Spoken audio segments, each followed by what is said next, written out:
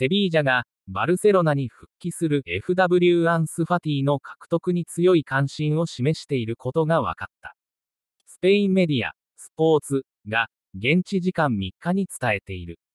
イングランドで輝きを放てなかったバルセロナの10番の未来は、ガルシア・ピミエンタ監督が就任したアンダルシアのクラブにあるのだろうか。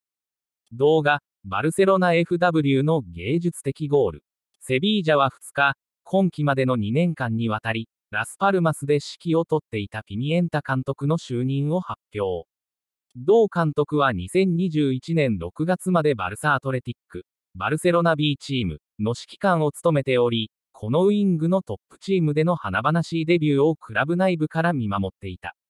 このウインガーの才能を知り、高く評価しているピニエンタがセビージャの新監督と契約したことで、同クラブがファティのレンタルでの獲得に全力を注いでいるようだ。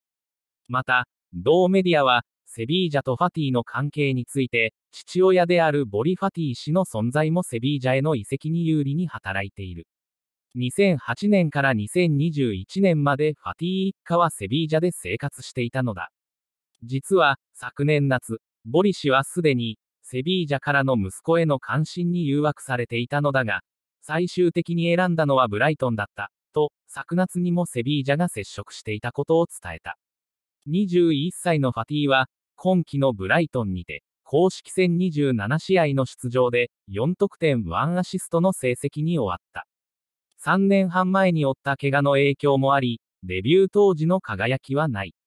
ケンド従来を期す来季について、アンスはプレシーズンをバルサの一員としてスタートし、すぐに去就を決めたいようだ。